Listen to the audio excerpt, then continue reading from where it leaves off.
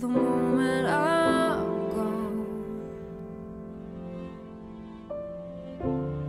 You hold me without touch, you keep me.